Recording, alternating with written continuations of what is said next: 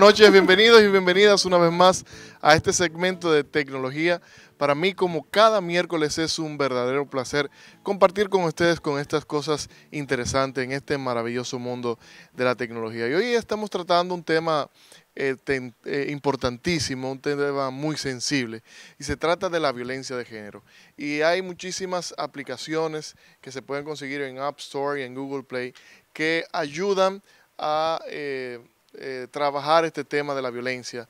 Eh, ayudan incluso con eh, formas de comunicarse con los instituciones de emergencia de una manera fácil y sencilla.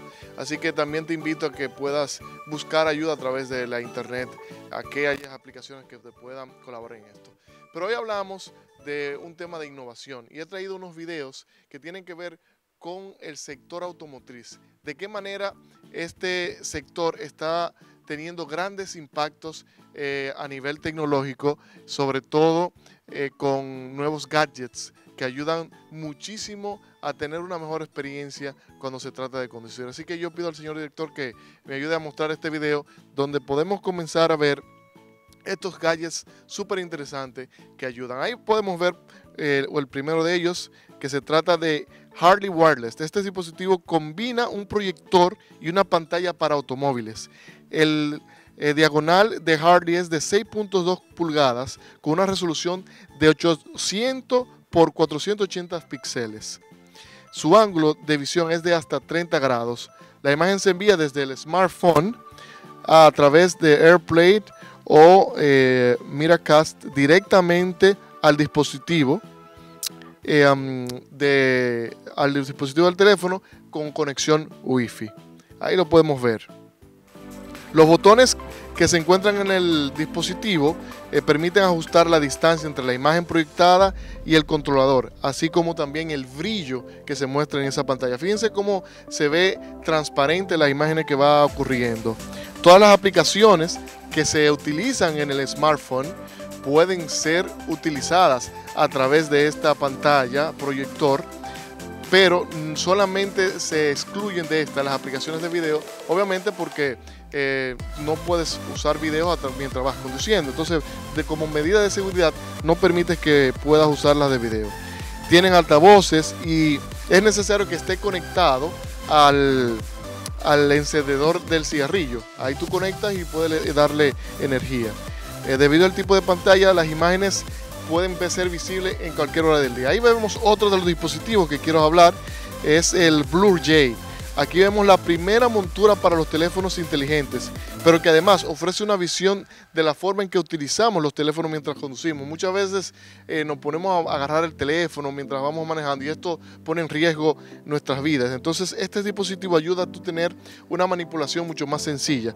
Pero más que esto, está hecho de aluminio de, eh, alta calidad y fibra de carbono por este soporta, eh, con Bluetooth se conecta y tiene una señal GPS, lo cual te permite incluso eh, ubicar tu, vehículo cuando está parqueado en un lugar donde hay mucho, muchos eh, vehículos, incluso en una plaza, a través de este Sambil.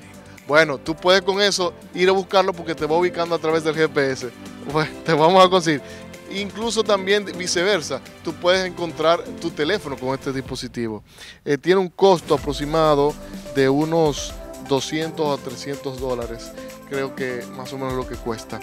Eh, tiene varios colores y eh, puede ser utilizado bastante flexible. Un buen regalo de San Valentín, ¿verdad que sí? Así que ya ustedes pueden ver ahí lo que es el Blue Late. un tamaño bastante eh, amigable y sencillo. Ahí estamos viendo otro de los dispositivos súper interesantes, se llama DriveBot. Es un dispositivo sencillo, parecido a un rastreador de fitness, pero para vehículos. Supervisa, y fíjense esto lo interesante, supervisa el estado del vehículo y te informa si existe algún problema.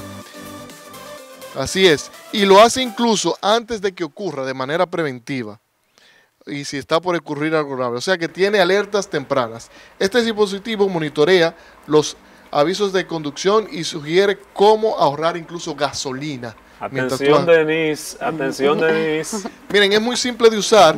Simplemente los conectas al puerto OVV2 que se encuentra en la mayoría de los autos fabricados después del 1996. O sea, todos los autos tienen este dispositivo EV2 y cuando tú lo conectas, él va a comenzar a ver el comportamiento del motor, el comportamiento de la transmisión, de los frenos, el aire acondicionado y de las baterías. Oh, y te va a estar avisando del comportamiento de tu auto. Así que es un dispositivo súper interesante y lo pueden eh, conseguir a través del portal eh, del portal oficial de ellos. Así que esto es lo que tenemos, señor director.